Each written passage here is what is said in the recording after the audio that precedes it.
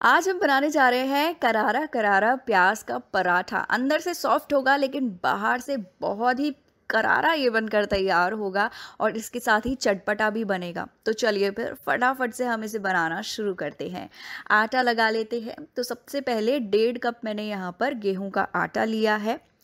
इसमें हम मिक्स करेंगे थोड़ा सा नमक। दो चम्मच मैं घी डाल रही हूँ। आप घी की जगह तेल भी डाल सकते हैं। सारी चीज़ों को हम अच्छे तरीके से मिक्स कर देंगे। जैसे ही सारी चीज़ें मिक्स हो जाएँगी, हम इसमें पानी डालेंगे और आटा लगाएँगे। आपको इसमें मुट्ठी बनाकर देखने की ज़रूरत नहीं है, इतना ज़्यादा मोइन नहीं लगाना है, सिर्फ़ दो चम्मच घी ही डालना है। अच्छे से हम इसका आटा लगा लेते हैं और जो आटा ये लगेगा, वो सॉफ्ट आटा लगाकर हमें तैयार करना है। तो देखिए, आटा हमने लगा लिया है। इसकी इस तरीके से हम एक बॉल बना लेंगे। अंदर की तरफ़ इसे इस तरीके से करेंगे और उसके बाद इसके ऊपर दो तीन बूंदें, मैं घी की डाल रही हूँ और अच्छे से पूरे आटे पर हम लोग उसे अप्लाई कर देंगे। अब इसे ढक देते हैं 10 मिनट रेस्ट करने देंगे। यहाँ पर हम फिलिंग तैयार कर रहे हैं तो मैंने यहाँ पर दो प्याज लिए हैं, जिन्हें लंबा लंबा और पतला पतला काट लिया है। ये जो लच्छे वाले प्याज होते हैं ना, इनका पराठा बहुत बढ़िया बनता है। दो बारीक कटी हुई हरी मिर्चें हम इसमें डाल देंगे। आधा चम्मच लाल मिर्ची पाउडर, एक चम्मच आमचूर पाउडर खटाई के लिए और स्वाद के अनुसार नमक। नमक तभी डालें जब आपको पराठे बनाने हों। थोड़ा सा धनिया और एक चौथाई चम्मच घी डालकर अच्छे से मिक्स करेंगे। क्योंकि हम लोग अभी पराठे बना रहे हैं, इसलिए हमने अभी ही नमक डाल दिया है। अगर आपको लगे कि नहीं, फिलिंग बनाकर रख देते हैं और बाद में पराठे बनाएँगे तो नमक आप जब पराठे बनाएँ, तभी डालें।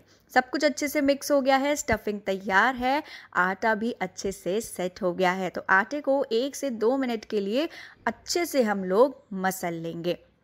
जैसे ये हो जाएगा, आटे का जो पोर्शन है, अब जितनी बड़े आपको पराठे बनाने हैं, उस हिसाब से आपको लोई लेनी है। तो मैं यहाँ पर थोड़ी बड़ी लोई बनाकर तैयार कर रही हूँ। अच्छे से रोल करेंगे, जैसे नॉर्मल पराठों के लिए करते हैं और उसके बाद इसके ऊपर हम सूखा आटा लगा देंगे।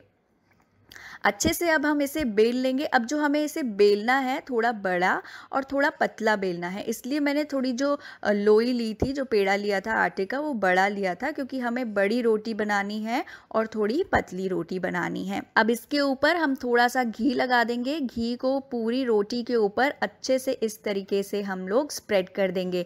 इसके साथ ही जो सूखा आटा है, वो भी हम इस तरीके से थोड़ा थोड़ा सा रोटी के ऊपर लगा देंगे।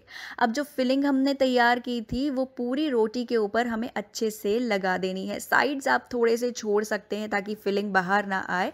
बाकी पूरे पराठे पर हमने जो ये प्याज है, जो फिलिंग है, वो अच्छे से लगा देनी है। उसके बाद सिंपली हमें इसे रोल करना है।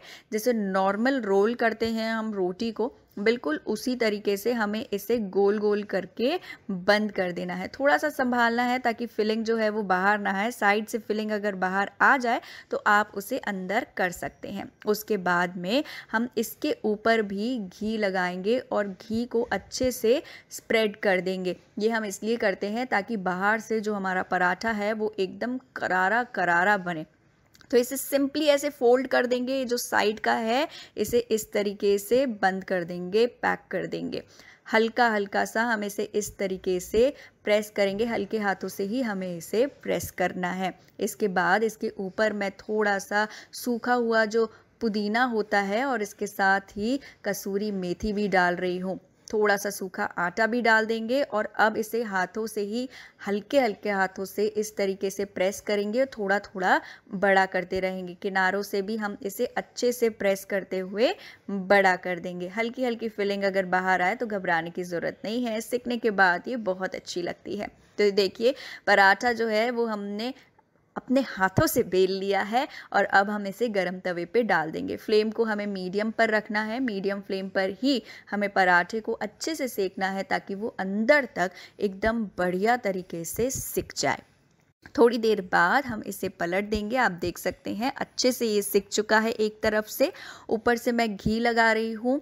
अच्छे से घी को पराठे पर लगाएँगे। घी में कमी बिल्कुल नहीं होनी चाहिए, तभी तो पराठा एकदम बढ़िया करारा बनेगा और खाने में भी मज़ा आएगा। अच्छे से हम इसे प्रेस करेंगे ताकि ये बढ़िया दोनों तरफ़ से सिक जाए। दोबारा पलट देंगे और ये देखिए कितना बढ़िया ये बनकर तैयार हुआ है। जो ऊपर हमने पुदीना और कसूरी मेथी लगाई है, उसका भी बहुत बढ़िया फ्लेवर आता है।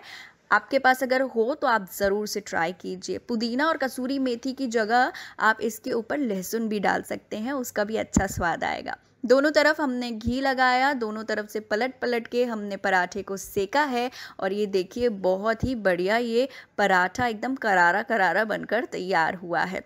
तो प्याज के पराठे इसी तरीके से हमने बाकी भी तैयार कर लिए हैं। ऊपर से लगाएँगे मक्खन, आप इसे दही के साथ, अचार के साथ या फिर किसी भी सब्ज़ी के साथ आप इसे इंजॉय कर सकते हैं। कभी कभार तो मैं ऐसे ही चाय के साथ ही इसे खा लेती हूँ। ये देखिए, हर लेयर में, हर जगह आपको पूरा भरा हुआ पराठा मिलेगा। बहुत बढ़िया बनता है। कैसी लगी है रेसिपी कमेंट करके ज़रूर से बताइएगा। वीडियो को लाइक कीजिएगा शेयर कीजिएगा। जल्दी मिलेंगे हम अगली रेसिपी के साथ में। तब तक के लिए बाय